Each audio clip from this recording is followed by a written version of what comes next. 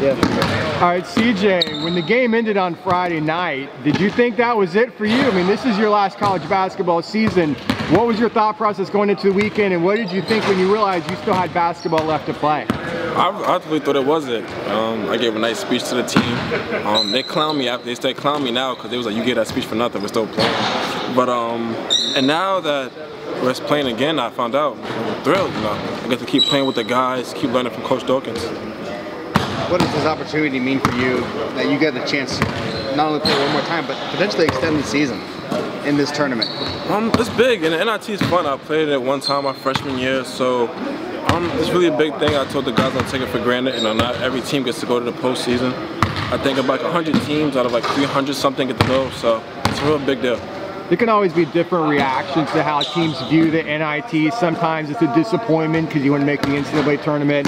Some teams are fired up because they just want any, want any opportunity to play further basketball. So how does this UCF team feel about the NIT? Um, we treat it like a big deal. We, we don't see it as a disrespect to us, you know. We're not going to carry it like a North Carolina, you know, because we get a chance to actually play basketball, you know. We're not going to take that for granted because there's no guarantees for tomorrow.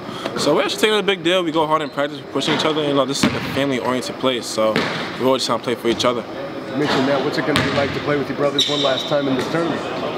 Um, it's gonna be big. Hopefully, it's not only the, the, the one last time, but um, hopefully we can take a long run at it. But it's gonna be fun, you know, big. You know, me and the seniors, you know, we talk about all the time. Like we gotta keep pushing out, keep pushing out, because we don't know what's gonna happen after this.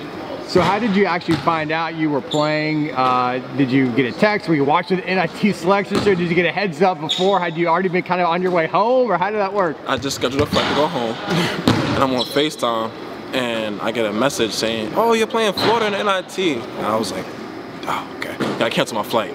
yeah, that's how I found out. What, So- what, what, does, is there any extra spice to it that you're playing Florida in state?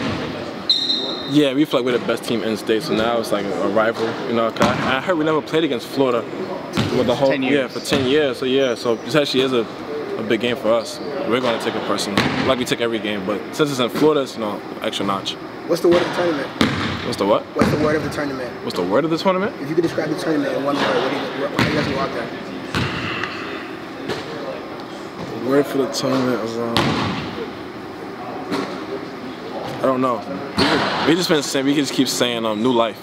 We got we got like a, a, a new life. So I guess that would that would be it. That's our little motto right now. We got an extra life. I mean, you guys were playing so well in early January. You guys were really on track to make the NCAA tournament. You know, there was injuries, close games don't go your way, one play here or there. So, I mean, you guys feel you're a lot. You feel you're probably tournament caliber team. So, how does the team feel? I mean, you guys want to make a run. You want to win this whole thing, right?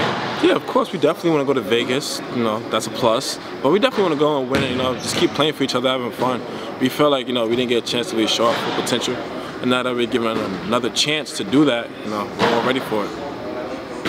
Thanks, CJ. All good? Appreciate it. Thanks a lot, CJ. Good All luck. right, guys.